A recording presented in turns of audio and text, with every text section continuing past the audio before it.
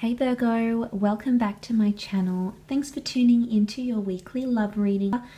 This is going to be a reading with some reversals focusing on your love life, and I will be including some clarifying cards as well to help better understand the messages that come through for you here today. So I really appreciate you joining me on the channel. If you would like a private reading with me, please feel free to browse the show more section below this video where you'll find prices, services and turnaround time as well as my email all listed below there. Um, otherwise, let's jump into the reading and see what comes up for you, Virgo, for the week ahead.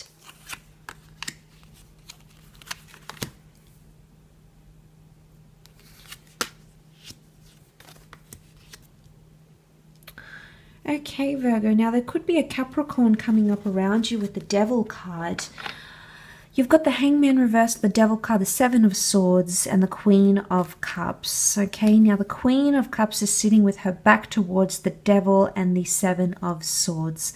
This makes me think that there is something that might be going on behind closed doors for either yourself or your person. Um, the the good thing is is that there's there's a, a chap an unhealthy chapter that's ending because the devil card is in fact reversed. Uh, and when it's upright it does speak about overindulging obsession control etc um, and that could indicate that you're sort of leaving that behind this week.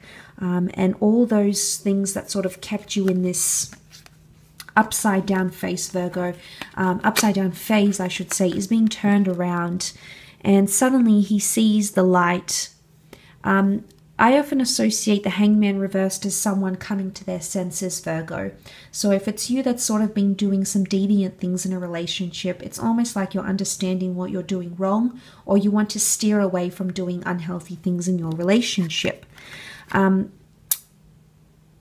Virgo, so what I think this could indicate, if this isn't happening for you, it could be for your person, um, but you're coming into a place where you're coming to your senses, okay, um, about unhealthy behavior, about things going on in your relationship.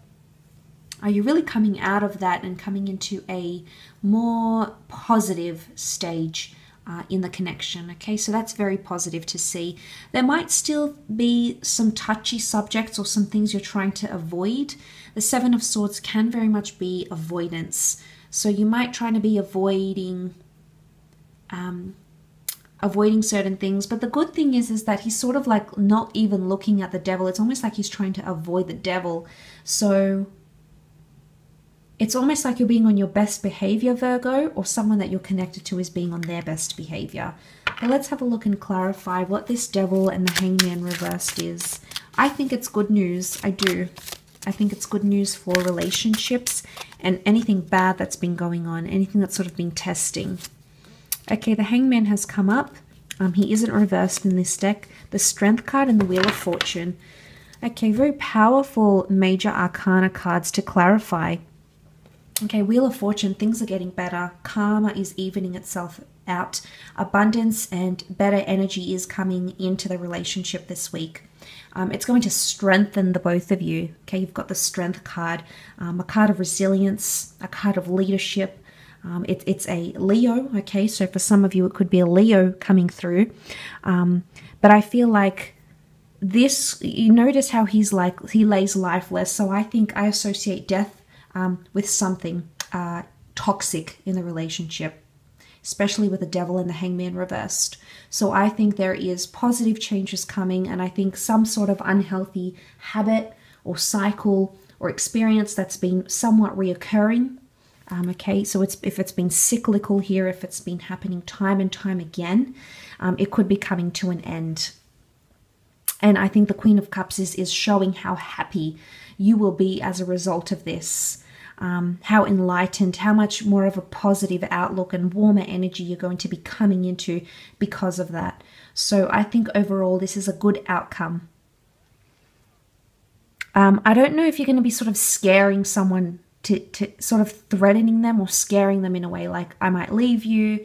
It could be like an ultimatum, or you might just be saying, you know what, you are you are going head to head. The peacock and the serpent go head to head. So um, it could be a powerful thing, a powerful shift that takes place here, Virgo, and you're coming into this energy where like you you look them in the eye and you tell them what it is, but they're going to take it on board. And I do sense that it's going to leave you in a more happier, blissful state, uh, seeing the Queen of Cups.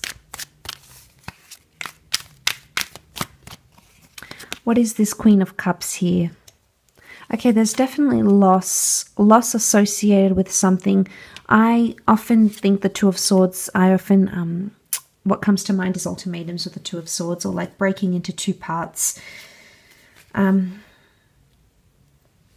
Virgo, there might even be someone who's threatening to leave you, but you're okay with it.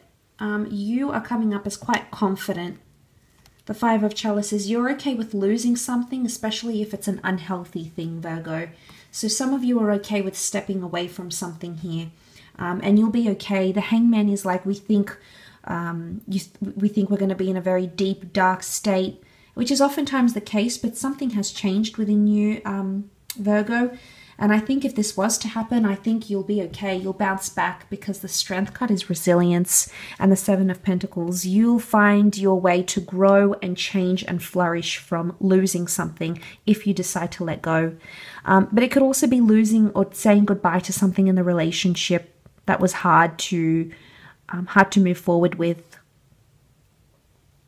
So you're saying goodbye to that, or that person is saying goodbye to it and then you're going into blindly into the next phase. But there's growth here around you, Virgo, so that's very positive.